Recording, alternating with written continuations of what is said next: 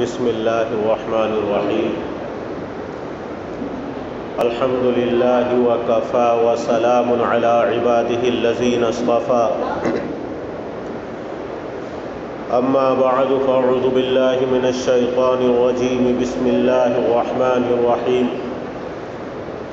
ومن أحسن قولا ممن دعا إلى الله وعمل صالحا وقال إنني من المسلمين. صدق الله العظيم. سبحان ربك رب العزة عما يصفون وسلام على المرسلين والحمد لله رب العالمين. اللهم صل على سيدنا ومولانا محمد وعلى آل سيدنا ومولانا محمد وبارك وسلم.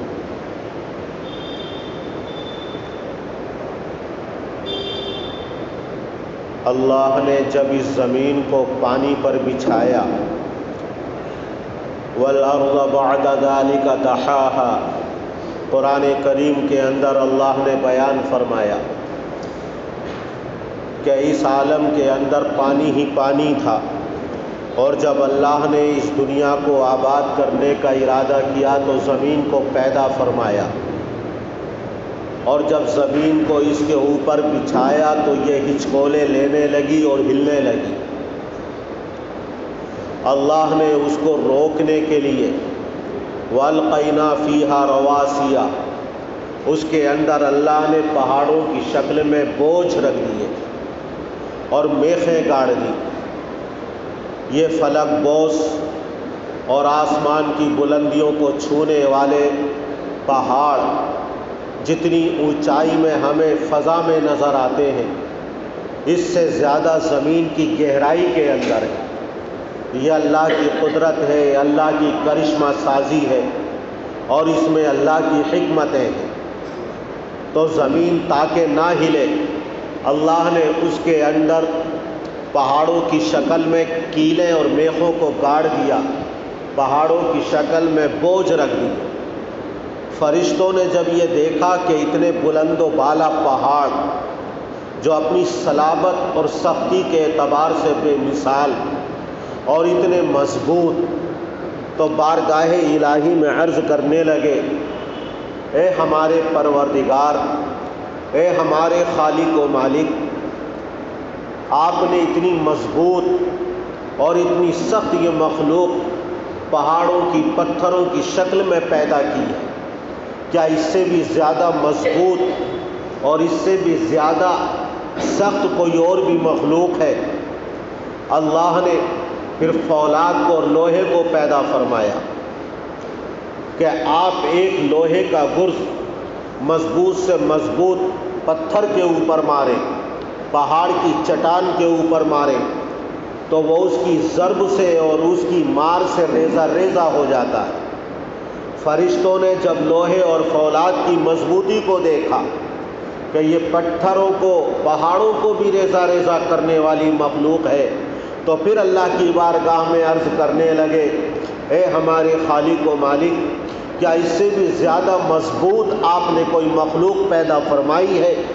تو اللہ جل جلالہ عما نوالہ نے آگ کو ان کے سامنے پیش کیا، اس کو وجود بخشا کہ آپ کیسا بھی لوہا ہو، کیسا بھی فولاد ہو، اگر آگ کے شولوں کے حوالے کر دیا جائے، آگ کی بھٹی کے اندر اس کو تپایا جائے، تو وہ اس کو پانی کی طرح پگھلا کر رکھ دیتا ہے۔ جب آگ کی طاقت کو فرشتوں نے دیکھا تو پھر بارگاہ الہی میں آجزی اور انکساری کے ساتھ عرض کرنے لگے کہ اللہ اتنی سخت اتنی مضبوط اور اتنی طاقتور مخلوق تو نے آگ پیدا فرمائی ہے کیا اس سے بھی زیادہ کوئی تیری طاقتور مخلوق ہے؟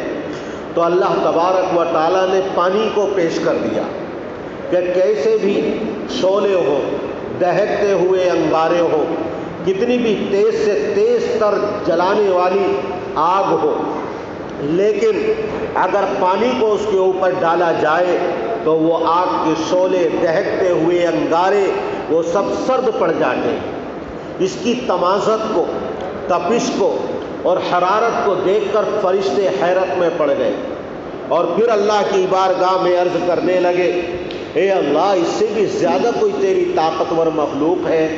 تو اللہ نے ہوا کو پیش فرما دیا کہ واقعی ہوا اتنی طاقتور مخلوق ہے کہ اس کی تیزی کو اور جب وہ چلے تو بڑے بڑے محلات، بڑے بڑے قلعے، بڑے بڑے تناور درخت، وہ تمام کے تمام ہوا کی طاقت کو برداشت نہیں کر سکتے۔ حضور اکرم صلی اللہ علیہ وسلم نے یہ بیان فرمانے کے بعد ارشاد فرمایا کہ اس سے بھی زیادہ طاقتور ایک چیز اور ہے۔ حدیث میں تو یہ فرمایا ہے کہ صدقہ یہ پہاڑوں سے زیادہ طاقتور ہے، یہ فولاد سے زیادہ طاقتور ہے، یہ آگ سے زیادہ قوی اور طاقتور ہے، یہ پانی سے زیادہ طاقت رکھتا ہے، یہ ہواؤں سے زیادہ تیز و تل اور باد سرسر سے زیادہ طاقتور ہے۔ اگر صدقہ کیا جائے تو اس کی وجہ سے اللہ کی رضا اور خوشنودی حاصل ہوتی ہے، بلائیں ٹل جاتی ہیں۔ لیکن یہ بھی ایک حقیقت ہے کہ ایمان اگر کسی کے پاس ہے اور ایمان کی دولت ہے اور ایمان کی دولت سے وہ بہرا ور اور مالا مال ہے تو یہ ایسی دولت ہے کہ یہ اتنی مضبوط دولت ہے کہ پہاڑوں کی سختی اور اس کی طاقت اس کا مقابلہ نہیں کر سکتی۔ آگ کی تیزی، حرارت، تپش اس آگ کے سامنے کوئی حیثیت نہیں رکھتی ہے۔ یہ پانی سے بھرے ہوئے سمندر اور یہ بہتے ہوئے دریا، یہ ایمان کی طاقت کے سامنے کوئی حیثیت اور وقت نہیں رکھتے۔ یہ باد سر سر کے جھونکے اور تیز و تند آندھیاں، یہ ایمانی طاقت کے مقابلے میں کوئی حیثیت نہیں رکھتے۔ آپ اگر قوموں کی اور امتوں کی تاریخ کو پڑھیں گے تو آپ کو اس میں ملے گا کہ جب ایمان کی طاقت سے محروم تھے تو وہ قیمتی اور فرعونی بحر قلزم اور دریائے نیل میں غرق کر دیے گئے۔ وہ اپنے آپ کو ایمان کی دولت سے محروم ہونے کی وجہ سے، پانی سے اپنے آپ کو بچا نہ سکے۔ وہ قوم آج جو اپنی طاقت اور توانائی کی دعوے دار تھی، جن کے بارے میں قرآن کریم کے اندر اللہ نے فرمایا، لم یخلق مثلها فی البلاد۔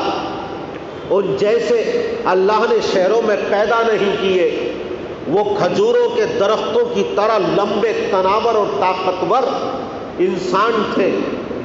لیکن جب ایمان کی دولت سے محروم اور ایمان کی دعوت کو انہوں نے ٹھکرایا، تو اللہ نے تیز و تند آندھیاں اور ہوائیں بھیجیں اور ان آندھیوں نے اور ہواؤں نے زمین سے اٹھایا اور آسمانوں کی بلندیوں پر لے جا کر زمین پر ایسا پٹکا کہ ان کے پیٹ پھٹ گئے اور آتے باہر نکل آئیں۔ آئی ان کے سر پھٹ گئے اور دماغ اور بھیجے تمام کے تمام باہر نکل آئے۔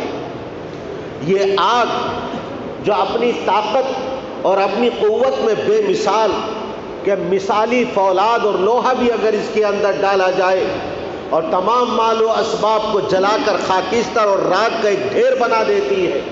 قوم شعیب جو ایمان سے محروم تھی، دوسری بدعمالیوں کے اندر بھی مبتلا تھی۔ قوم شعیب کے اوپر اللہ تعالیٰ نے گرمی کو مسلط کیا، ایک بادل اور ایک سائبان بھیجا۔ اس میں سے ٹھنڈی ٹھنڈی ہوائیں چلائیں اور وہ اس بادل اور اس سائبان کے نیچے آ کر تمام جب جمع ہو گئے تو اللہ جل جلالہ و عم نوالہ نے اسی بادل اور اسی سائبان میں سے ان کے اوپر آگ کو برسایا اور ایمان سے محروم انسانوں کو جلا کر راگ کا ایک ڈھیر بنا دیا گیا۔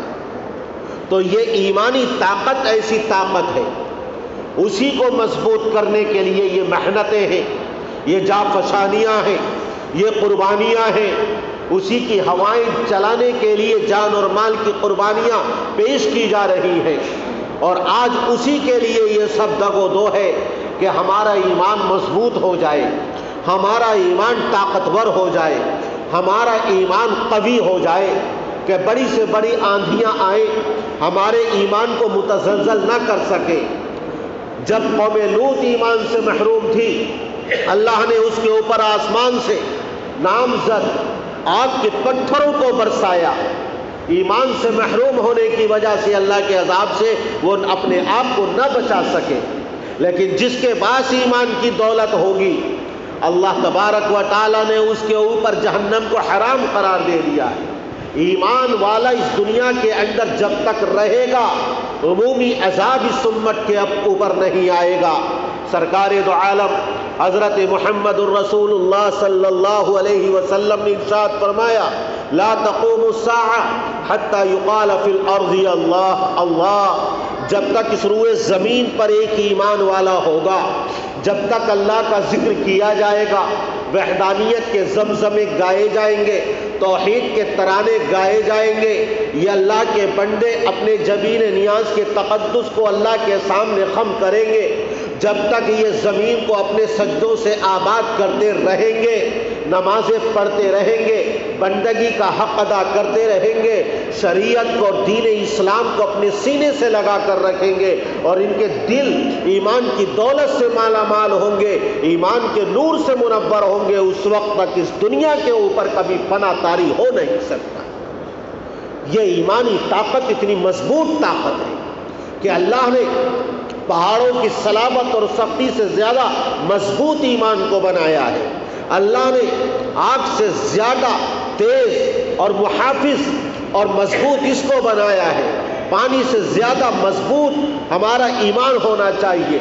ہواؤں سے زیادہ مضبوط، آندھیوں سے زیادہ مضبوط ہمارا ایمان ہونا چاہیے۔ اللہ تبارک و تعالیٰ اس ایمان کی چاشنی حلاوت ہمارے دلوں کے اندر پیدا فرما دے اور ہمارے ایمان کو مضبوط کر دے۔ تمام انبیاء کرام علیہ السلاۃ والسلام اسی کی دعوت کو لے کر آئے، اسی کی محنت کو لے کر آئے۔ انہوں نے اپنی توانائیاں اسی کے لیے صرف کی ہیں۔ انہوں نے اپنی عمریں اسی میں کھپا دی ہیں۔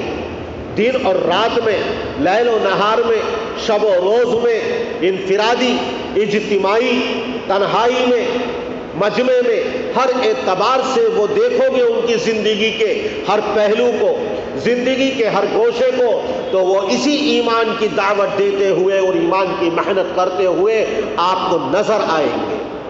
لیکن آج اس ایمان کے لیے ہمارے پاس، اس کی محنت کے لیے ہمارے پاس وقت نہیں ہے۔ یہ اللہ نے جو ایمان عطا فرمایا، کتنی بڑی نعمت ہے، کتنی بڑی نعمت ہے۔ قرآن کریم کے اندر اللہ نے ارشاد فرمایا اليوم اکملت لکم دینکم و اتممت علیکم نعمتی و لکم الاسلام دینا یہ اللہ نے اللہ فرماتا میں نے اپنے دین کو کامل کر دیا، اپنی نعمت کو تمہارے اوپر تام کر دیا۔ میں نے دین اسلام کو تمہارے لیے پسند کر لیا ہے۔ اللہ قرآن کریم کے اندر اعلان فرما چکا ہے کب اس کے اندر کبھی زیادتی نہیں ہوگی۔ اب کوئی نبی آنے والا نہیں، کوئی صحیح آسمانی کتاب نازل ہونے والی نہیں۔ تمام شریعتیں منسوخ کر دی گئی تمام کتابیں منسوخ کر دی گئی تمام انبیاء کرام پر میرے آقا کے ذریعے خط مکمل ہونے کی مہر مہر لگا دی گئی۔ قصر نبوت کو حضور اکرم صلی اللہ علیہ وسلم کے ذریعے اب مکمل کر دیا گیا ہے اور اب اس کار نبوت کو امت کے کاندھوں پر ڈالا گیا ہے۔ حضور اکرم صلی اللہ علیہ وسلم حجت الوداع میں کم و بیش ایک لاکھ چوبیس ہزار اپنے جانصار فداکار صحابہ کرام کے مجمع میں اسی کو اعلان فرما رہے ہیں کہ ذرا بتاؤ حل بلغ تو کیا میں نے اللہ کے احکام پہنچا دیے؟ کیا میں نے تم تک دین کو پہنچا دیا؟ کیا میں نے ایمان کا پیغام تم تک پہنچا دیا؟ تمام صحابہ کرام بیک زبان ہو کر کہتے ہیں بلغتا و ادیتا و نصحتا اے ہمارے آقا، حضرت محمد الرسول اللہ صلی اللہ علیہ وسلم، آپ نے شریعت کو پہنچا دیا۔ آپ نے ایمان کو پہنچا دیا، آپ نے دین اسلام کی تبلیغ کا اور دعوت کا حق ادا کر دیا ہے۔ آپ نے ہمارے ساتھ، امت کے ساتھ، ہمارے واسطے سے قیامت تک آنے والی انسانیت کے ساتھ خیر خواہی فرمائی ہے۔ اللہ نے، اللہ کے رسول نے آسمان کی طرف اپنی شہادت کی انگلی کو اٹھا کر نیچے جھکایا اور گواہ بنایا۔ اللہ مشہد اللہ مشہد اے اللہ، تو گواہ ہے نا؟ میں نے تیرا کام پہنچا دیا۔ دیے میں نے تیرا پیغام پہنچا دیا۔ میں نے دعوت و تبلیغ کا حق ادا کر دیا۔ اور پھر اس کے بعد ذمہ داری ڈالی ہے کہ دیکھو، اب یہ نبوت کا دروازہ بند ہو گیا ہے۔ اب اللہ کی طرف سے کوئی نئی وحی نازل نہیں ہوگی۔ اب اللہ کی طرف سے کوئی نیا نبی آنے والا نہیں ہے۔ اب قصر نبوت کو مکمل کر دیا گیا ہے۔ فل یبلغ الشاہد الغائب۔ جتنے لوگ یہاں موجود ہیں جن کو میں نے ایمان کی دولت سے مالا مال کیا ہے، جن کو دین اسلام کے تمام احکام میں نے پہنچا دیے ہیں۔ اب یہ کار نبوت تمہارے کاندھوں پر ڈالا جاتا ہے، جو اس مجمع کے اندر موجود ہے۔ قیامت تک آنے والی انسانیت تک واسطہ در واسطہ اس پیغام کو اور اس دین کو اور ایمان کو پہنچانا تمہاری ذمہ داری ہے۔ یہ حضور اکرم صلی اللہ علیہ وسلم پیغام دے کر گئے ہیں، یہ ذمہ داری سونپ کر گئے ہیں۔ آج اسی ایمان کو ہر کچے پکے گھر کے اندر داخل کرنا ہے، اپنے اور پرائے تک پہنچانا ہے، دوست دشمن تک پہنچانا ہے۔ ہر ایک کو مسجد سے جوڑنا ہے، ہر ایک کے دل کے اندر اللہ کی محبت کے نور کو جگمگانا ہے۔ آج دنیا جو راہ راست سے بھٹکی ہوئی ہے۔ سرات مستقیم سے یہ گمراہ ہے۔ کتنے ایسے لوگ ہیں کہ جو خدا کے ایک ہونے کا انکار کرتے ہیں، جو اللہ کے ہی منکر ہیں۔ دہریے ہیں کمیونسٹ ہیں۔ کتنے ایسے ہیں جو خدا کی خدائی میں دوسرے دیوی دیوتاؤں کو شریک مانتے ہیں۔ اپنے ہاتھوں کے تراشے ہوئے خداؤں کے انہوں نے اختیارات سپرد کر دیے ہیں اور یہ سمجھتے ہیں کہ اس کائنات کے نظام کو یہ ہمارے ہاتھ کے بنائے ہوئے تراشے ہوئے معبود چلا رہے ہیں۔ یہ قمقمے جل رہے ہیں۔ یہ بلب روشن ہے۔ یہ گاڑیاں چل رہی ہیں۔ لائٹ سے یہ ٹرینیں، یہ میٹرو، کتنی مشینیں اور کتنے کارخانے اس بجلی سے اور کرنٹ سے چل رہے ہیں۔ لیکن اپنی آنکھوں سے دیکھنے والے جو ان قمقموں کو جلتا ہوا، ان بجلیوں کو روشن، ان پنکھوں کو چلتا ہوا، مشینوں اور کارخانوں کو چلتا ہوا، فیکٹریوں کو چلتا ہوا دیکھتے ہیں۔ اور لائٹ سے، کرنٹ سے اور بجلی سے کتنی بے شمار چیزوں کو وہ چلتا ہوا اپنی آنکھوں سے مشاہدہ اور معائنہ کر رہے ہیں۔ وہ یہ جانتے ہیں کہ ان کا کنکشن کسی پاور ہاؤس سے ہے۔ چاہے یہ پنکھا ہو، اس کا کنکشن کسی پاور ہاؤس سے ہے۔ اگرچہ ہمیں محسوس نہیں ہو رہا ہے۔ ہماری آنکھوں سے نظر نہیں آ رہا ہے، لیکن جو اللہ نے عقل عطا فرمائی ہے، اس عقل کے ذریعے وہ پہچانتا ہے کہ اگر اس بلب کا اور اس کمکمے کا، اس پنکھے کا، اس کارخانے کا، اس مشین کا، اس کا کنکشن اگر پاور ہاؤس سے نہ ہوتا، اس یہ پنکھا نہ چلتا، یہ بجلی روشن نہ ہوتی، یہ بلب اور کمکما روشن نہ ہوتا، یہ کارخانے اور فیکٹریاں نہ چلتی اور وہاں ایک انجینئر ہے جس کے ہاتھ میں یہ نظام ہے، اس کے علم میں تمام اس کے پرزے ہیں۔ کل پرزوں کو وہ جانتا ہے، اس کی فٹنگ کو وہ جانتا ہے، اس کے چلانے اور بند کرنے کو جانتا ہے۔ اس کے اندر کمی اور نقصان ہو جائے، وہ اس سے واقف ہے۔ وہ اس کی مرمت کے ہنر کو جانتا ہے۔ اس لیے کسی کو بھی کوئی حیرت اور تعجب نہیں ہوتا ہے کہ آخر اس کے اندر روشنی آ کہاں سے رہی ہے۔ کوئی تعجب نہیں ہوتا، آخر یہ پنکھا گھوم کیوں رہا ہے؟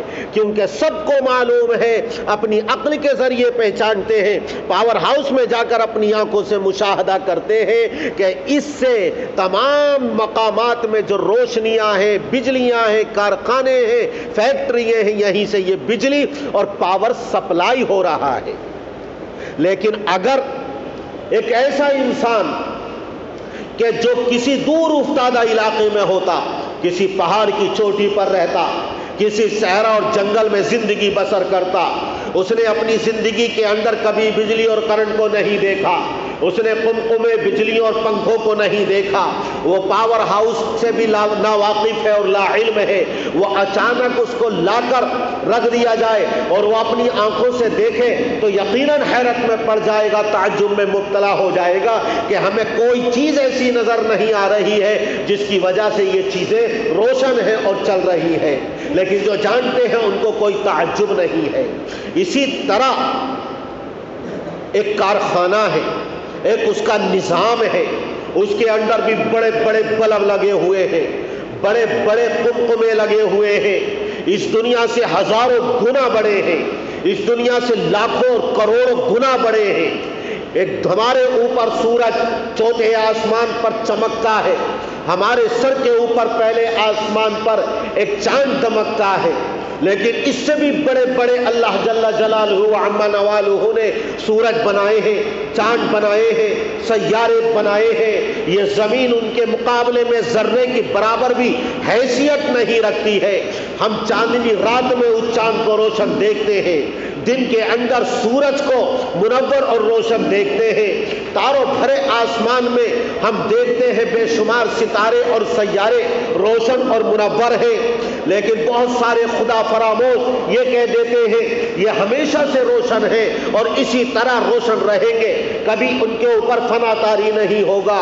کتنے ایسے ہیں جنہوں نے اس خدائی کو تقسیم کر دیا اور دیوی دیوتاؤں کے سپرد کر دیا کہ فلا دیوی یا فلا دیوتا اس کو روشن کرنے والا، اس کے سپرد یہ کام ہے موت کسی کے اختیار میں، زندگی کسی کے اختیار میں، بارش نازل کرنا کسی کے اختیار میں، رزق دینا کسی کے اختیار میں، اس طرح تقسیم کر دیا اور خدا کے ساتھ شریک قرار دینے لگے۔ لیکن ایک اللہ کا بندہ آتا ہے اور وہ یہ کہتا ہے کہ دیکھو یہ کارخانہ جو دنیا کا چل رہا ہے، یہ نظام جو دنیا کا چل رہا ہے، اس سے پہلے اس کائنات کو بنایا گیا ہے بزم کون و مکان کو سجایا گیا ہے۔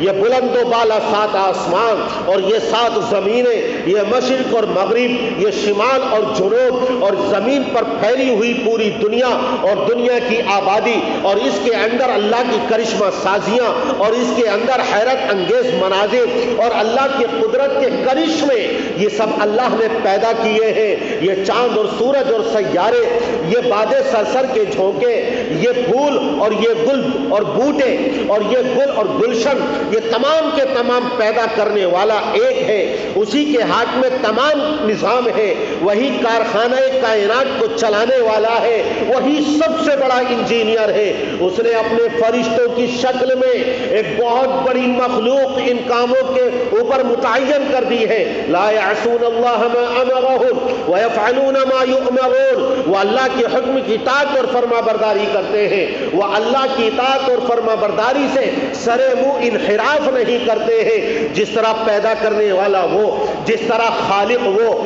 ہمارا مالک وہ، اس کائنات کو چلانے والا بھی وہ ہے۔ اور تمام نظام اسی کے ہاتھ میں چل رہا ہے۔ ایک آیا، اسی نے یہ دعویٰ کیا۔ قوموں نے جھٹلایا، قوموں نے اس کو، اس کی تقزیب کی۔ قوموں نے اس کی بات کو نہیں مانا۔ اب دوسرے بہت سارے لوگ کہہ سکتے ہیں، ہماری سمجھ میں نہیں آتا۔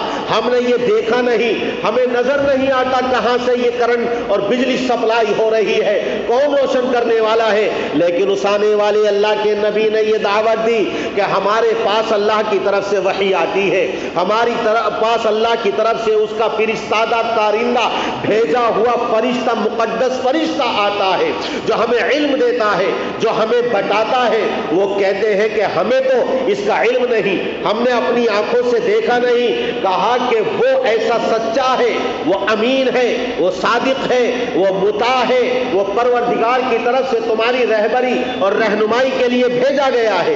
ایک آیا قوم نے تکذیب کی۔ پھر دوسرا نبی آتا ہے، اس کو بھی قوم جھٹلاتی ہے، سلسلہ لگ گیا تانتا بن گیا، ایک لاکھ چوبیس ہزار یہ مقدس نفوس قدسیہ اور پاک باز ہستیاں آتی رہی۔ یہی پیغام سناتی رہی کہ اے اللہ کے بندو، تم دنیا کے اندر کمکوں میں جلتے دیکھتے ہو، بلبوں کو جلتا ہوا دیکھتے ہو، کرنٹ سے گاڑیاں چلتی ہوئی، ٹرینیں چلتی ہوئی، مشینیں اور کارخانے چلتے ہوئے، اس بجلی سے پنکھے چلتے ہوئے دیکھتے ہو تمہیں یقین آ جاتا ہے کہ اس کا تعلق کہیں پاور ہاؤس سے ہے۔ اس کے بغیر یہ چل نہیں سکتا۔ ایک نہیں، ایک لاکھ چوبیس ہزار ایسے انبیاء کرام آئے جن کی صداقت پر صدق کی مہر لگا دی گئی۔ جو اللہ کی طرف سے امانت دار ہے اور تمام قوموں نے ان کو امین جانا ہے، تمام قوموں نے ان کو صادق مانا ہے۔ ان کی زندگی مقدس اور پاک باز ہے۔ ان کا خاندان اور نصب بھی اعلیٰ ہے۔ ان کی سیرت بھی اس پاک باز ان پاکیزہ ہے اور ان کی زندگی ہر گناہ سے بالکل مبرہ اور منزہ ہے۔ یہ قوموں نے تسلیم کیا ہے۔ ایک نہیں، ایک لاکھ چوبیس ہزار انبیاء کرام اسی کی دعوت دے رہے ہیں تو تمہاری سمجھ میں کیوں نہیں آتا؟ اسی ایمان کو مضبوط کرنے کے لیے حضور اکرم صلی اللہ علیہ وسلم نے اور اسی اللہ سے، خالق و مالک سے اور اسی خدائی کا سکہ جمانے کے لیے، اسی وحدانیت کو ہمارے دلوں میں پیوست کرنے کے لیے اور لا الہ الا اللہ جس نے پڑھا ہے، تو گویا کے ایمان کے اندر داخل ہو گیا۔ اب ایمان کے جب ایمان کی حلاوت اور چاشنی مل گئی، تو اب اس کے تقاضوں پر عمل کرنا ہے۔ اسی کے لیے آخر میں اللہ کے رسول صلی اللہ علیہ وسلم بھیجے گئے ہیں۔ اور پھر آپ نے صحابہ کرام پر بلا واسطہ اور آپ کے واسطے سے قیامت تک آنے والے مسلمانوں کے اوپر بالواسطہ یہ ذمہ داری ڈالی ہے کہ ایمان کی محنت کرنی ہے، ایمان کی دعوت دینی ہے قرآن کریم کے اندر اللہ نے فرما دیا، وَمَنْ أَحْسَنُ قَوْلًا مِّمَّنْ دَعَا إِلَى اللَّهِ، اس سے اچھی بات کس کی ہوگی؟ جو اللہ کی طرف دعوت دے۔ یہ احسن اس میں تفضیل کا سیغہ ہے۔ دوسرے کے مقابلے میں فضیلت اور برتری کے لیے بیان لایا جاتا ہے۔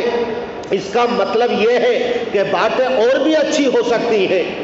کوئی کھانے کی طرف بلائے، کوئی کسی چیز کی افتتاح کی طرف بلائے، کوئی نکاح کی تقریب کی طرف دعوت دے، دوسری چیزوں کی طرف دعوت دی جاتی ہے۔ اس کے اندر بھی اچھائی ہو سکتی ہے، وہ حسن اور اچھی ہو سکتی ہے۔ لیکن ومن احسن قولا ممن دعا اللہ اس سے اچھی بات کسی کی ہو نہیں سکتی۔ جو اللہ کی طرف بلائے، جو اللہ کی طرف دعوت دے، تمام باتوں میں سب سے اچھی بات اس کی ہے، جو ایمان کی دعوت دے، جو اسلام کی دعوت دے، جو اللہ کی دعوت دے۔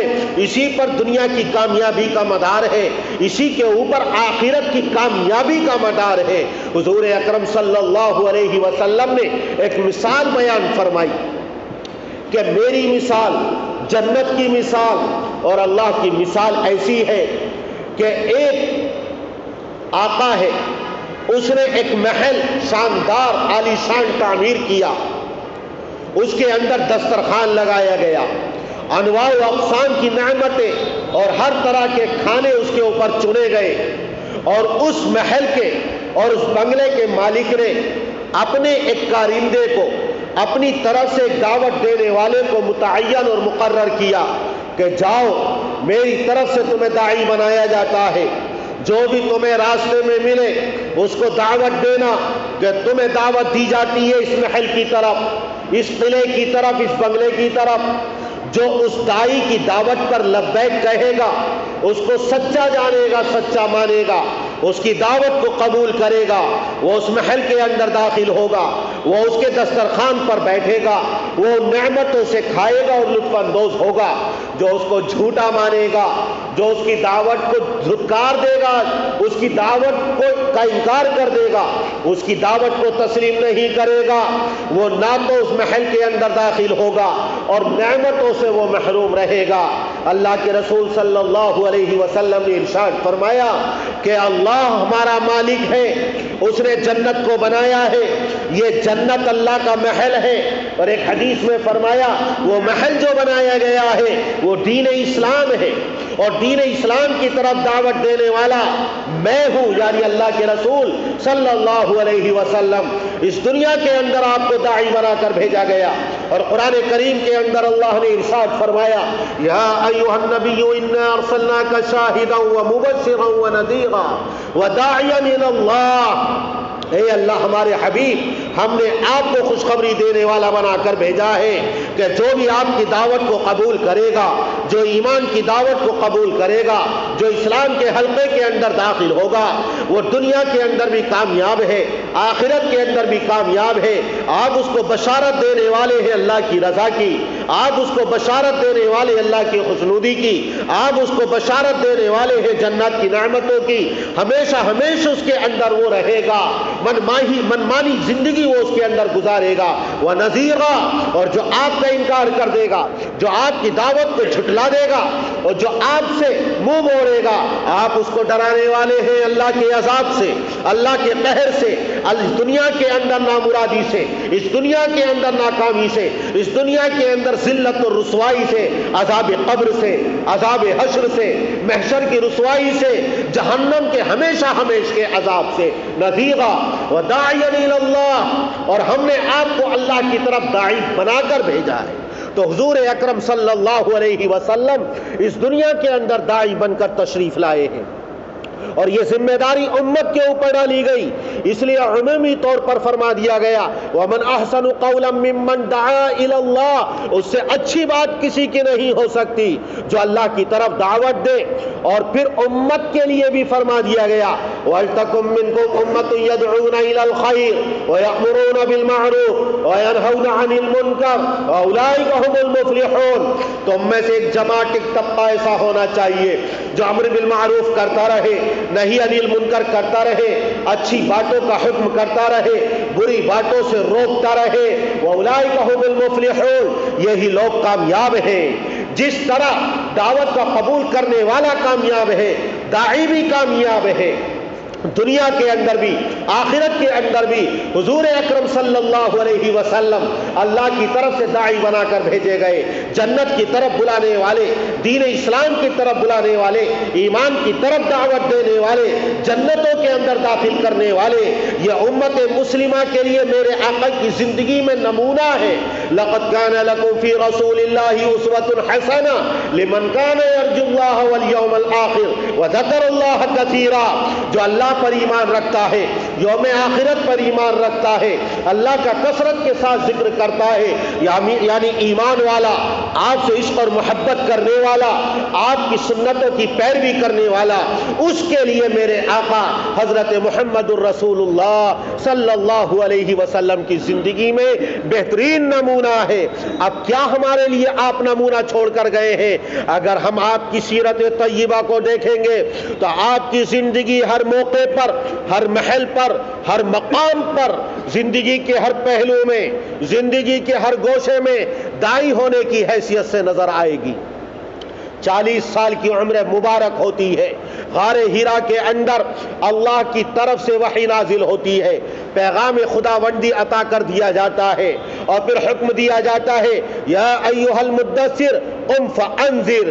اے چادر کو اڑنے والے، اب آپ کھڑے ہو جائیے۔ اب آپ کے اوپر تو ذمہ داری ڈال دی گئی۔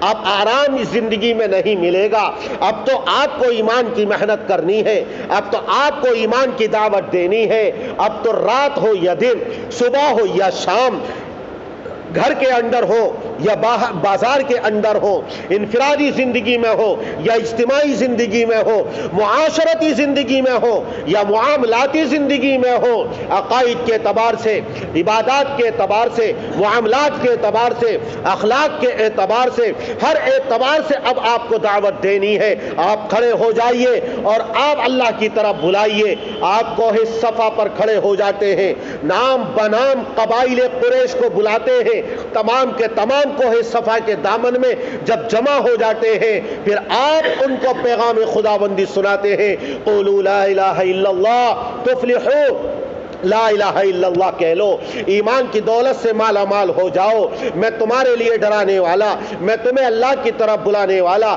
تمہاری زندگیوں کو بنانے والا، تمہاری زندگیوں کو سنوارنے والا، آخرت کو سنوارنے والا۔ لا الہ الا اللہ کہہ لو، تم کامیاب ہو جاؤ گے۔ حضور اکرم صلی اللہ علیہ وسلم کوہ صفا پر اسی ایمان کی دعوت دیتے ہوئے نظر آتے ہیں۔ دار ارقم میں دیکھو تو وہاں ایمان کی دعوت دیتے ہوئے نظر آتے ہیں۔ مکے والوں نے جھٹلا دیا، میرے آقا کا دل تڑپ اٹھ گیا، تڑپ گیا اور آپ نے سوچا، یہ میرے خاندان والے ہیں، یہ میرے قبیلے والے ہیں، یہ میرے وطن والے ہیں، یہ نہیں سنتے ہیں۔ میں نے ان سے محبت کی، انہوں نے مجھ سے نفرت کی ہے۔ میں نے ان کو اللہ کی طرف بلایا، انہوں نے مجھے جھٹلایا ہے، اس لیے میں دوسرے مقام پر جاؤں۔ شاید وہ میری دعوت کو قبول کر لے۔ آج طائف جاتے ہیں، لیکن وہاں بھی اوباشوں کو پیچھے لگا دیا گیا۔ وہاں آپ جبکہ اوباش دونوں طرف سے دو رویا کھڑے ہوئے ہیں اور آپ کے اوپر دونوں طرف سے پتھر برساتے ہیں، پتھروں کی بارشیں زخموں سے چور ہے خون سے لہو لہان ہے لیکن اس عالم کے اندر بھی آپ یہ فرماتے ہیں، اللہ کے بندو، ایک طرف سے تم پتھر مت مارو، رک جاؤ، تاکہ میں دوسری طرف والوں کو ایمان کی اور اللہ کی دعوت دے سکوں۔ جوتیاں مبارک خون سے بھر جاتی ہے اور اور آپ کا بدن خون سے تر ہو جاتا ہے۔ اس عالم کے اندر بھی آپ اللہ کی طرف دعوت دیتے ہوئے نظر آتے ہیں۔ باغ کے اندر آتے ہیں، نڈھال ہے لیکن وہاں بھی آپ اداس نینوائی کو اسلام اور ایمان کی دعوت دیتے ہیں۔ اور اس حالت میں بھی ایک ایمان والا آپ کی محنت کی وجہ سے پیدا ہوتا ہے اور اسلام کے حلقے کے اندر داخل ہو جاتا ہے۔ حضور اکرم صلی اللہ علیہ وسلم تلوار کے سائے میں جب ہجرت کرتے ہیں، ایسا سفر ہے جو لق و دق میدان ہے، بے آب و گیا میدان ہے، ریگستانی سفر ہے، شبانہ روز کا سفر ہے۔ حضرت ابو بکر ساتھ میں ہیں، راستہ بتانے والا ساتھ میں ہے لیکن ایسے نامساعد اور مخالف حالات کے اندر بھی جبکہ سو اونٹوں کا انعام ہے اور کفار انعام کی حاصل کرنے کے لالچ میں آپ کا تعاقب کرتے ہیں، ایسے موقع پر بھی آپ ام معبد کو اسلام کی دعوت دیتے ہیں، ایمان قبول کر لیتی ہیں۔ اسی طرح آپ دوسرے لوگوں کو دعوت دیتے ہیں اور اس موقع پر تقریباً بیس مسلمانوں نے، بیس انسانوں نے میرے آقا کی دعوت پر ایمان کو قبول کیا ہے۔ آپ قبا جاتے ہیں، پہلی منزل ہے، وہاں بھی آپ چین سے نہیں بیٹھتے، فوراً مسجد قبا کی تعمیر کی جاتی ہے، تاکہ اس کے میناروں سے ایمان کی دعوت دی جائے، نماز کی دعوت دی جائے، وحدانیت کی دعوت دی جائے، تاکہ حیا الصلاح حیا الفلاح کی صدائیں بلند کی جائیں۔ یہاں اس لیے مسجد تعمیر کی جاتی ہے تاکہ اس سے دعوت کا کام لیا جائے۔ آپ یہاں قیام کرنے کے بعد جب چلتے ہیں مدینے کی جانب، بنو سلیم قبیلے سے جب گزر گزر ہوتا ہے نماز کا وقت آ جاتا ہے نماز ادا کرتے ہیں، وہاں بھی آپ ایمان اور اسلام کی دعوت دیتے ہوئے نظر آتے ہیں، مدینہ پہنچتے ہیں، وہاں بھی آپ چین سے نہ بیٹھے بلکہ اپنی سواری پر سوار ہیں اور ایک قبیلے میں پہنچتے ہیں۔ وہاں عبداللہ ابن عبی ابن سلول، جو منافقین کا سردار، جب سواری کے ٹاپوں سے گرد و غبار اڑی ہے، اپنے ناک پر ہاتھ رکھ لیا، منہ پر ہاتھ رکھ لیا، پیشانی پر بل پڑ گئے، ناک کو اس نے چڑھایا، منہ کو اس نے بگاڑا ناگواری کا اظہار کیا اور کہا کہ محمد، اپنی سواری کو میری طرف سے ہٹا لو، اس کی بدبو نے میرا دماغ، اس کے تعفن نے میرا دماغ خراب کر دیا ہے، لیکن آپ اس نفرت کے باوجود ایسے متشدد مخالف اور معاند کو بھی ایمان کی دعوت دیتے ہوئے نظر آتے ہیں۔ حضور اکرم صلی اللہ علیہ وسلم کی پوری زندگی دعوت میں، ہر گوشہ، ہر گوشے میں دعوت، ہر لمحہ دعوت، ہر پہلو میں دعوت، زندگی کے ہر مقام پر حضور اکرم صلی اللہ علیہ وسلم دائی نظر آتے ہیں۔ لَقَدْ كَانَ لَكُمْ فِي رَسُولِ اللَّهِ عُسْوَةٌ حَسَنَةٌ تمہارے لیے رسول اللہ صلی اللہ علیہ وسلم کی زندگی میں بہترین نمونہ ہے۔ میرے آقا کی زندگی کے صرف گیارہ دن باقی رہ گئے ہیں۔ آپ چل نہیں سکتے ہیں۔ آپ حضرت عباس، حضرت علی کے کاندھوں پر سہارا لگاتے ہیں۔ کاندھوں پر ہاتھ رکھ کر مسجد نبوی میں آتے ہیں۔ پیر گھسیٹ گھسیٹ کر چل رہے ہیں۔ نقاہت ہے۔ کمزوری ہے بخار کی وجہ سے، سر پر درد سر کی وجہ سے پٹی بندی ہوئی ہے۔ میرے آقا کھڑے نہیں ہو سکتے۔ اس عالم میں حضرت ابو بکر کے پہلو میں آپ کو بٹھا دیا جاتا ہے۔ آپ نماز ادا کرتے ہیں اور اس وقت بھی آپ صحابہ کرام کے درمیان ایمانی خطبہ دیتے ہوئے نظر آتے ہیں۔ دعوتی پیغام دیتے ہوئے نظر آتے ہیں۔ پانچ دن آپ کی وفات کے باقی رہ گئے ہیں۔ اس وقت جبکہ آپ مسجد نبوی میں آ نہیں سکتے ہیں۔ آپ کے حجرے کے درمیان، مسجد نبوی کے درمیان ایک پردہ ہے۔ آپ نے ہٹایا ہے اور پھر صحابہ کرام کے مجمع کو دیکھا ہے۔ آپ نے مسرت اور شادمانی کا اظہار کیا۔ میری زندگی کام میں لگ گئی۔ میری زندگی کام میں آ گئی۔ میں نے اللہ کا پیغام لوگوں تک پہنچا دیا۔ اب تو میری زندگی سمر گئی۔ میں نے اللہ کی خوشنودی اور رضا کو حاصل کر لیا۔ میں نے ایمانی دعوت کا پیغام پہنچا کر اس کا حق ادا کر دیا ہے۔ صحابہ کرام سب بستہ نظر آتے ہیں۔ مسجد کھچاکچ بھری ہوئی نظر آتی ہے۔ ایمان والے، اسلام والے مسجد نبوی کے اندر ہجوم کی شکل میں بھرے ہوئے نظر آتے ہیں۔ کتنی شادمانی اور مسرت کی لہریں میرے آقا کے چہرے پر دوڑ رہی تھی کاش ہمارے لیے، ہمارے دلوں کے اندر یہ جذبہ پیدا ہو جائے کہ ہمارے لیے آقا نہ ہے۔ اگر ہم نے اس نمونے کو اختیار کیا اور اسی راہ پر چلے، اسی نقوش پر چلے، تو انشاءاللہ اس عالم کے اندر اندر عالم برزخ میں میرے آقا خوشی کا اظہار کریں گے، جب ہمارے اعمال میرے آقا کی خدمت میں پیش کیے جائیں گے اور میدان محشر کے اندر بھی حضور اکرم صلی اللہ علیہ وسلم مسرت و شادمانی کا اظہار کریں گے۔ آخری وقت ہے، چھوٹا سا حجرہ ہے، صرف دس یا سات لوگ آ سکتے ہیں حجرے میں۔ آپ کے نواسے ہیں آپ کی بیٹی ہے، آپ کے داماد ہیں اور حضرات اس کے اندر موجود ہیں۔ اس وقت بھی آپ دعوت کا کام کرتے ہوئے نظر آتے ہیں۔ اس حالت میں جبکہ آج ہمارا حال یہ ہے کہ آخری وقت میں میری پراپرٹی، میری جائیداد، میرا بینک بیلنس، میرا کیش، میرے مال و دولت اور میری اولاد، میری دکانیں اور میرا کاروبار، اس کا کیا ہوگا؟ کون چلائے گا؟ میں نے اولاد کے لیے کیا چھوڑا ہے؟ میں نے رشتے داروں کے لیے کیا چھوڑا ہے؟ ہائے، میں نے پوری زندگی محنت کی ہے۔ اب سب چھوڑ کر میں جا رہا ہوں، جس کی میں نے حفاظت کی ہے۔ اپنی زندگی کی توانائیاں قربان کر دی میں نے اپنی زندگی کی جوانی خرچ کر دی۔ اپنی زندگی کا سب سے بہتر زمانہ جو شباب کا جوانی کا تھا، میں نے اس مال و دولت کو جمع کرنے میں خرچ کر دیا۔ اب میں اس کو چھوڑ کر جا رہا ہوں۔ یہ ہمارا حال ہوتا ہے۔ کاش میرے آقا کا نمونہ ہمارے سامنے آ جائے۔ آپ آخری وقت کے اندر بھی ان کو دعوت دیتے ہوئے نظر آتے ہیں کیا وما ملکت ایمانکم؟ اے میرے جانی سارو، اے میرے اہل بیت، اے میرے خاندان والو، اے ایمان والو، اے مسلمانوں، نمازوں کو ضائع مت ہونے دینا، نمازوں کا تم خیال رکھنا، نمازوں کا تم خیال رکھنا، پابندی سے ان کو ادا کرتے رہنا، جو تمہارے دستے نگر ہو، جو تمہاری نگرانی میں ہو، جو تمہاری باندیاں جو تمہارے غلام آج کے زمانے میں، جو تمہارے نوکر ہیں، جو تمہارے چاکر ہیں، جو تمہارے خادم ہیں، ان کا تم خیال رکھنا، ان کے حقوق کو پامال مت کرنا، خیال رکھنا نمازوں کا، خیال رکھنا عورتوں کے حقوق کا، خیال رکھنا اپنے خادموں کا اور نوکروں کا اور چاکروں کا۔ اور بالکل آخری وقت ہے۔ چند لمحات باقی رہ گئے ہیں۔ اس وقت ہی میرے آقا دعوت کا کام نظر آتے ہیں اور یہ پیغام دیتے ہوئے نظر آتے ہیں۔ آسمان کی طرف نگاہ اٹھاتے ہیں، دعائیں مانگتے ہیں۔ اللہم بالرفیق الاعلا اللہم الرفیق الاعلا اے اللہ، مجھے رفیق اعلیٰ میں شامل فرما دے۔ یعنی تمہارا رشتہ اللہ سے جڑنا چاہیے۔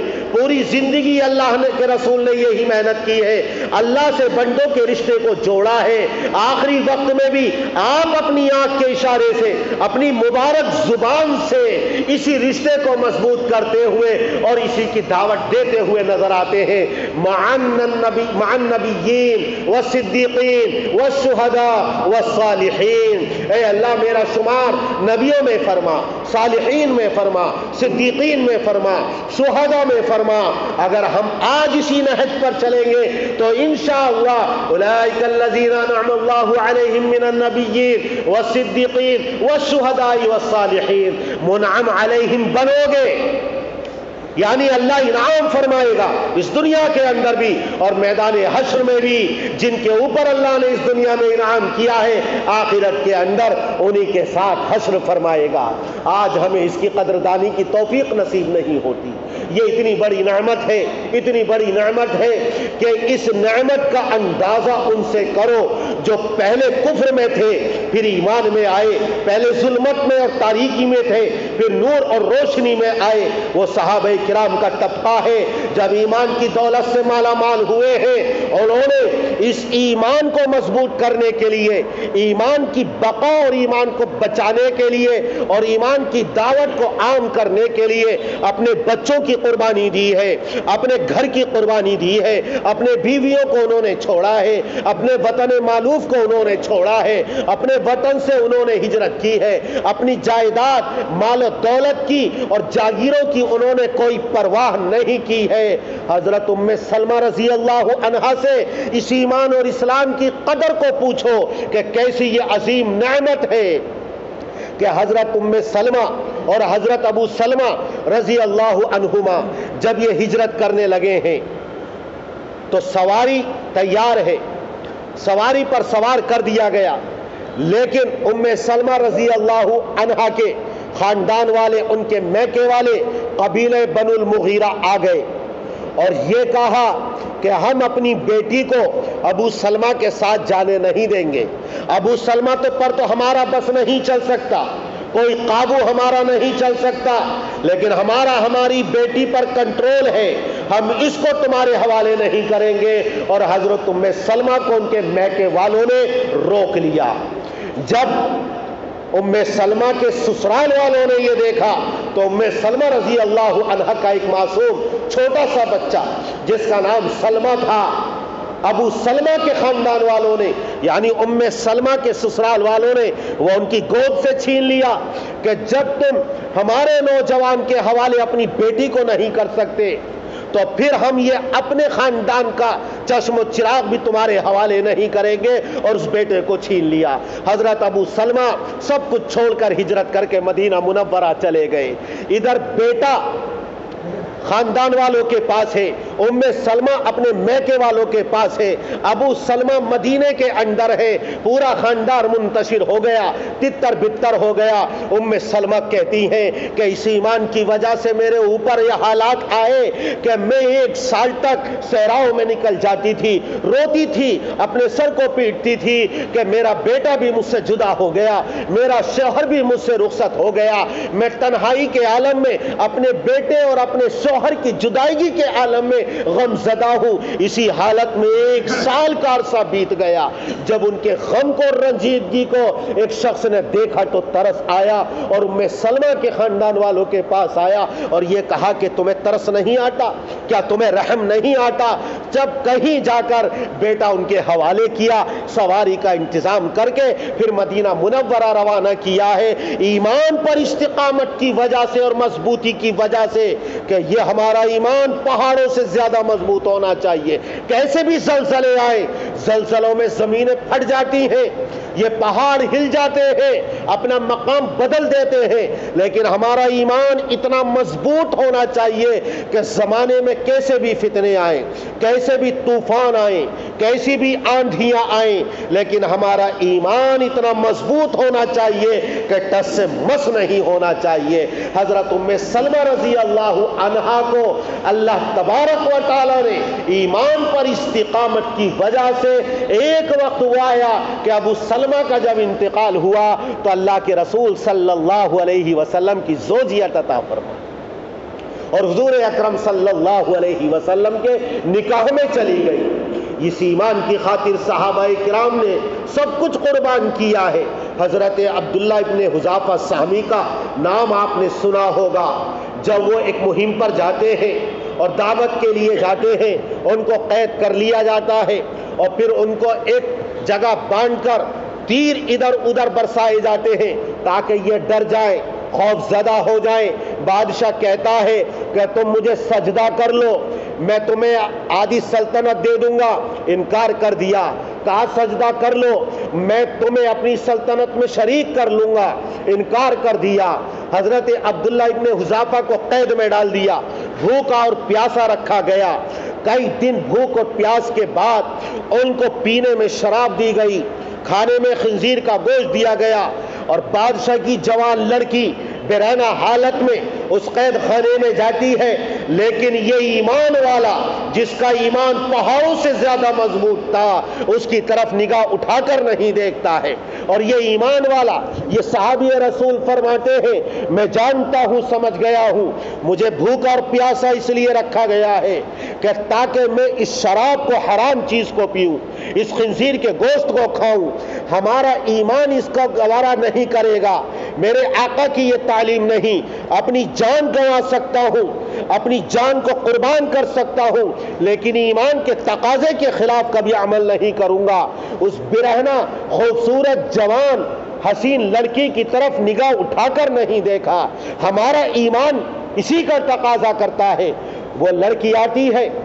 اور اپنے باپ سے کہتی ہے کہ میں نہیں سمجھتی کہ وہ انسان ہے یا پتھر ہے۔ وہ اس نے تو میری صورت کی طرف، میرے جسم کی طرف نگاہ اٹھا کر بھی نہیں دیکھا ہے۔ پھر ان کو اسی حالت میں لایا گیا۔ ایک آگ کا الاؤ تیار کیا گیا۔ اس کے اندر کڑھاؤ کے اندر تیل کو خوب گرم کیا گیا اور ان کے ساتھ جو مسلمان تھے، ایک مسلمان کو اس کھولتے ہوئے تیل کے اندر جیسے ہی ڈالا ہے، ایک چیخ نکلی اور ذرا سی دیر میں ہڈیوں سے گوشت پوش الگ ہو گیا اور سفید سفید ہڈیاں اس تیل کے اوپر تیرتی ہوئی نظر آ رہی ہے کہا کہ مجھے اب بھی سجدہ کر لے، تیری جان بخش دی جائے گی، اپنی حکومت میں تجھے شریک کر لوں گا۔ لیکن حضرت عبداللہ ابن حذافہ نے انکار کر دیا کارندوں اور جلادوں کے ذریعے جب اس الاؤ کی طرف ان کو دھکیلا جا رہا تھا، ان کی آنکھوں میں آنسو آ گئے۔ آنکھوں سے آنسو چھلک پڑے۔ بادشاہ سمجھا، یہ ڈر گیا ہے۔ اب مجھے سجدہ کر لے گا۔ اب ایمان کی دولت کو گوا دے گا۔ کہا کہ میں تو پہلے ہی کہتا تھا، مجھے سجدہ کر لے۔ حضرت عبداللہ ابن حذافہ کہتے ہیں، میں اس لیے نہیں ڈرا اور اس لیے نہیں رویا ہوں کہ میں موت کے خوف سے ڈر گیا ہوں، بلکہ میں تو اس لیے رو رہا ہوں کہ کاش میرے پاس ہزار جانیں ہوتی۔ اللہ نے ایک ہی جان دی ہے، اگر ہزار جانیں ہوتی تو اپنے ایمان کی بقا اور تحفظ کے لیے میں ہزار جانوں کو بھی اللہ کی راہ میں قربان کر دیتا۔ اللہ تعالیٰ ایسا ایمان ہمارا مضبوط فرما دے۔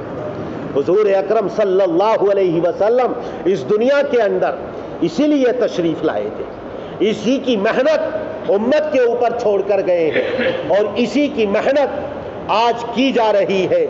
اگر اس کے اندر کامیابی مل جائے اور اس کے اندر اگر ہمیں فوز و فلاح مل جائے تو انشاءاللہ آپ دیکھیں گے اس دنیا کا نقشہ بدلا ہوا نظر آئے گا۔ پہلے ماضی کے اندر ذرا لوٹ کر جائیے کہ تاتاری ایک قوم تھی جو منگولی اور صحرائے گوبی سے اٹھے تھے اور ایک ایسا ٹھاٹے مارتا ہوا لشکر جرار تھا کہ جہاں سے بھی گزر جاتا تھا، خاص طور سے مسلمانوں کی آبادیوں کو تاخت و تاراج کرتا ہوا، برباد کرتا ہوا نظر آتا تھا۔ بے شمار مسلمانوں کو انہوں نے قتل کیا، خون بہایا، لیکن وہی قوم جن کے سامنے کوئی نظریہ نہیں تھا، وہی قوم جن کی کوئی دعوت نہیں تھی، کوئی مذہب ان کا نہیں تھا، صرف اپنی حکومت کو بڑھانا تھا، لیکن جب اسی قوم کے اندر اللہ کے دائی پیدا ہوئے ہو گئے، اللہ کے مبلغ پیدا ہو گئے۔ اور جن عورتوں کو انہوں نے اپنی باندیاں اور کنیزیں بنایا تھا۔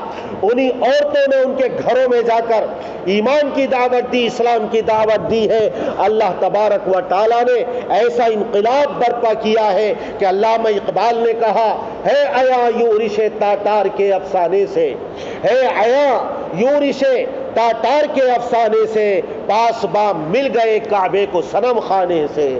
وہی پوری تاتاری قوم ایمان کے اندر داخل ہو گئی اور ایسی انہوں نے ایمان کی اور اسلام کی خدمتیں کی ہیں کہ ان جیسی خدمات ہمیں اس عالم میں نہیں ملتی ہیں اور ان کی نظیر ہمیں نظر نہیں آتی۔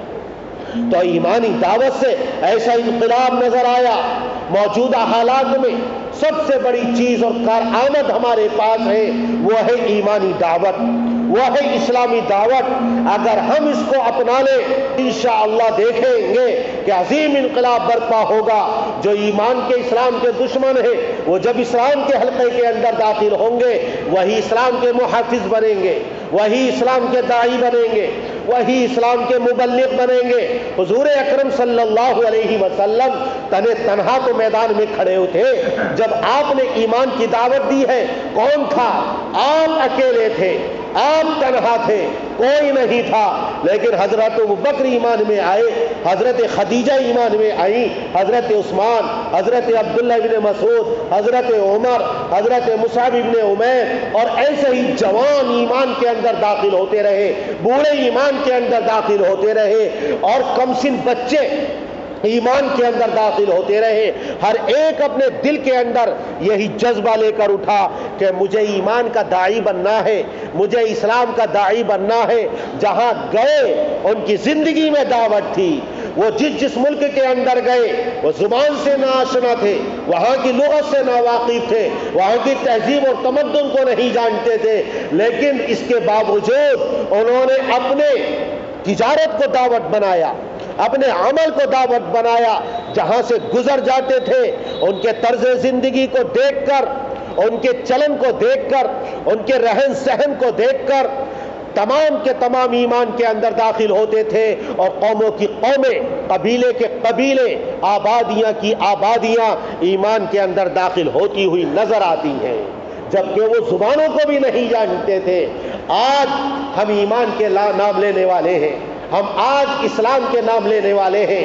ہم ایمان اور اسلام کا دعوت تو کرتے ہیں، لیکن اگر آج ہماری طرز زندگی کو دیکھے کوئی، ہماری بود و باش کو دیکھے ہمارے کلچر اور ہماری تہذیب کو دیکھے تو واقعی کیا وہ کہے گا کہ یہ اسی نبی امی کے نام لینے والے اور اسی کا دم بھرنے والے ہیں جن کی تہذیب اسلامی تھی، جن کا کلچر اسلامی تھا، جن کی شادی اور غمی کے موقع پر ایمان چھلکتا ہوا نظر آتا تھا۔ آج ہمارے غمی اور شادی کے موقع پر یہود اور نصارہ اور یورپین ممالک کی تہذیب اور کلچر کھلے طور پر نظر آتا ہے۔ کہاں ہے ایمان کی دعوت؟ ایمان کی دعوت جہاں یہ ہے کہ ہم گھر گھر جائیں، دروازے دروازے کو کھٹکھٹائیں اور مسجد سے ان کے تعلق کو جوڑیں۔ جس طرح میرے آقا گھر گھر جاتے تھے، ایک ایک دن کے اندر باز باز کے پاس ستر ستر مرتبہ آپ گئے ہیں۔ ابو جہل کو ایک ایک دن کے اندر آپ نے ستر ستر مرتبہ دعوت دی ہے۔ اس نے آپ کے گلے میں چادر کو ڈالا ہے لپیٹا ہے اور زور سے پتھر کے اوپر پڑھا ہے، میرے آقا کی پیشانی سے خون چھلکا ہے، خون بہا ہے، لیکن اس کے باوجود آپ ایمان اور اسلام کی دعوت دیتے ہوئے نظر آتے ہیں۔ حضور اکرم صلی اللہ علیہ وسلم نے وہ مدنی معاشرہ تشکیل دیا تھا کہ اسلامی معاشرہ، بہترین معاشرہ کہ آج چشم فلک اس اسلامی معاشرے کو اور مدنی معاشرے کو دیکھنے کو ترس رہی ہے۔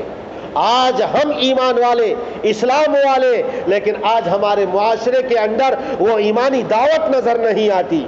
ایمانی دعوت جہاں ہماری زبان سے ہو، ایمانی دعوت ہمارے عمل سے بھی ہونی چاہیے۔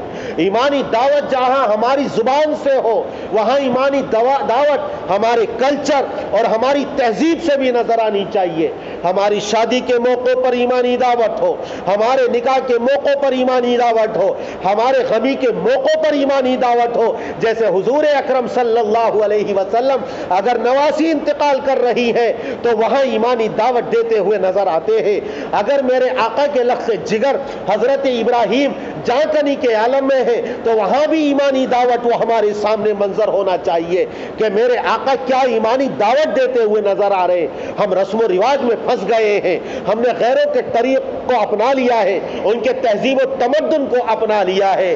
اور ہمیں جو اللہ تبارک و تعالیٰ نے موروثی طور پر وراثت میں ایمان اور اسلام عطا فرمایا ہے، آج ہم اتنے ناشکرے بن گئے۔ اتنے ناقدرے بن گئے ہیں کہ ہمیں اس پر شکر گزاری کی توفیق نصیب نہیں ہوتی۔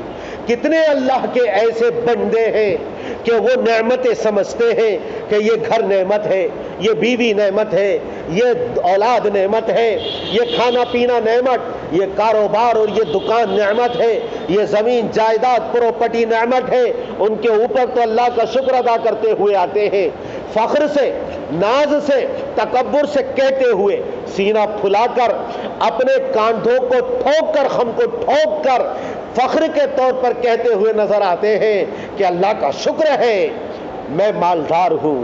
اللہ کا شکر ہے، اتنی زمین اور جائیداد ہے۔ اللہ کا شکر ہے، اتنی اولاد مجھے دی گئی ہے۔ ارے جہاں یہ اللہ کی نعمتیں ہیں، اگرچہ آزمائش کے لیے ہے انما اموالکم و اولادکم فتنہ۔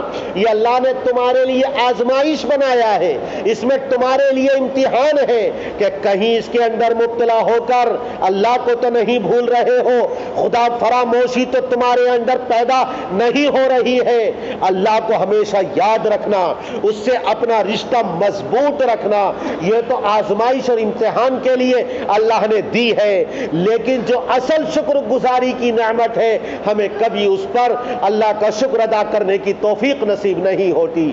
وہ کیا ہے؟ وہ ہے ایمان کی نعمت۔ وہ ہے اسلام کی نعمت اور اللہ نے خود ہی قرآن کریم کے اندر اس کو نعمت کہا ہے۔ وہ اتمم تو علیکم نعمتی سراحت کے ساتھ فرما دیا، میں نے تمہارے اوپر نعمت کو تام کر دیا۔ اشارے سے نہیں فرمایا کنائے سے نہیں فرمایا۔ یہ دین اسلام اللہ کی طرف سے جو نعمت ہے، سب سے عظیم نعمت ہے۔ یہ ایمان جو اللہ کی طرف سے عطا کی گئی ہے، سب سے عظیم نعمت ہے۔ اور کیوں ہے؟ اس لیے کہ دنیا کی نعمتوں کا مدار اس پر ہے۔ آخرت کی نعمتوں کا مدار اس پر ہے۔ دنیا بھی اس لیے مل رہی ہے کہ ایمان والے اس دنیا کے اندر ہیں۔